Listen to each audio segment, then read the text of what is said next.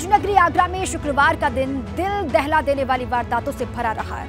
कहीं traffic police के head constable ने आत्महत्या कर ली तो कहीं एक तरफा इश्क के चलते चांदी व्यापारी की कला रेत कर हत्या कर दी गई।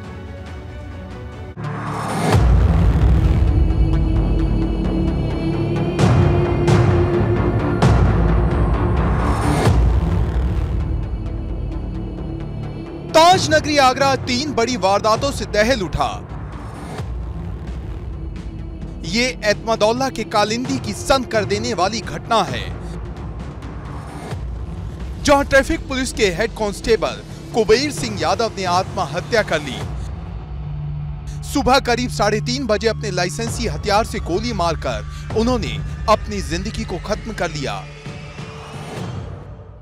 मूल रूप से इटावा में रहने वाले कुबेर की मौत का सच जानने की कोशिशों में पुलिस जुट गई है। ट्रैफ़िक लाइन में तैनात थे ट्रेन पे ट्रेन चलाते थे उनकी एज फिफ्टी नाइन ईयर्स थी कुछ शुगर पेशेंट भी थे और सुबह के समय तीन चार बजे के आसपास उन्होंने अपने लाइसेंसी वेपन से खुद से बरामदे में गोली मार ली उसमें उनकी तत्काल डेथ हो गई। मृत्यु का वास्तविक कार्य इसके पीछे वजह क्या है, ये परिवारजनों से बात करके और अन्य माध्यमों से इसका पता लगाया जा रहा है। वहीं दूसरी तरफ़ एक जघन्य हत्याकांड हुआ है। जिसमें आगरा में चांदी व्यापारी को गोली मारने के बाद सिर को धड़ से अलग कर दिया गया। भाजपा के अनुसूचित जाति मोर्चा के जिला अध्यक्ष टिंकू भार्गव अपने भतीजे अनिल भार्गव के साथ दोस्त नवीन कुमार वर्मा को लेकर गए और चांदी व्यापारी नवीन वर्मा की गोली मारकर हत्या करने के बाद सिर को धड़ से अलग कर दिया।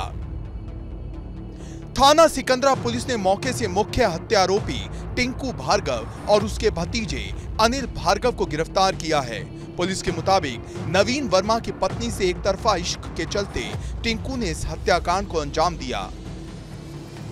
थाना सिकंदरा क्षेत्र में अरतौनी के जंगल में एक युवक नवीन वर्मा की उसके मित्र ने ही गला रेत कर हत्या कर दी सिर धड़ से अलग कर दिया और इस मामले में आ, पुलिस ने मौके से टिंकू भार्गव जो बीजेपी अनुसूचित मोर्चा का जिलाध्यक्ष है उसके भतीजे अनिल भार्गव को मौके से गिरफ़्तार किया है और बताया जा रहा है कि नवीन वर्मा की पत्नी के प्रति उसका आकर्षण था और एक तरफा इश्क के चलते उसने बहुत ही कहा जाए जघन्य तरीके से उसका सिर धड़ से अलग कर दिया है। इस मौके इस मामले में पुलिस ने दोनों आरोपियों को गिरफ़्तार कर लिया है।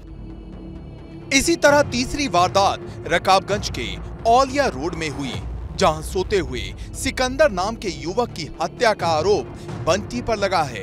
निर्माणाधीन मकान में हुई हत्या से सनसनी फैल गई। अवैध संबंधों के चलते इस हत्याकांड को अंजाम दिया गया। एक व्यक्ति का स्टैबिंग है।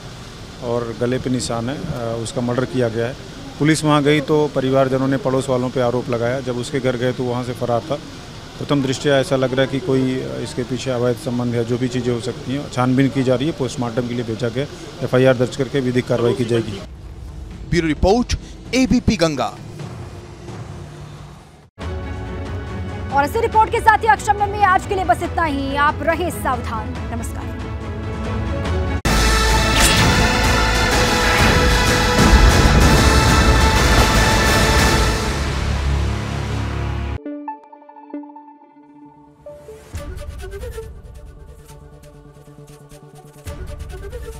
एबीपी गंगा खबर आपकी जुबा आपकी।